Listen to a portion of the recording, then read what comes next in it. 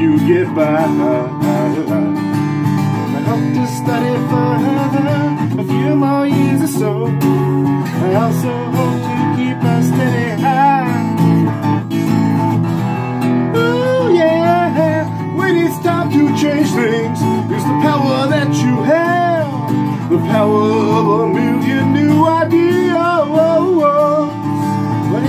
power you speak up and the need for things to change? I always thought that everything is fine, everything was fine. Don't you feel repression just to closing in around? But the campus here is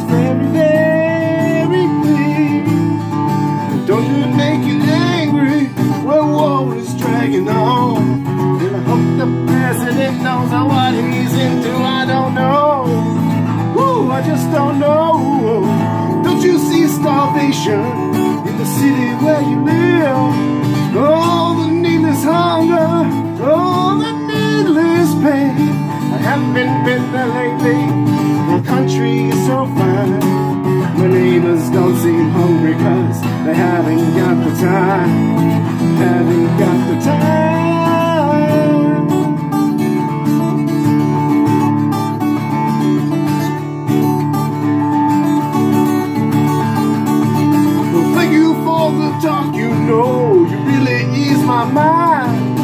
Troubled by the shape of things to come.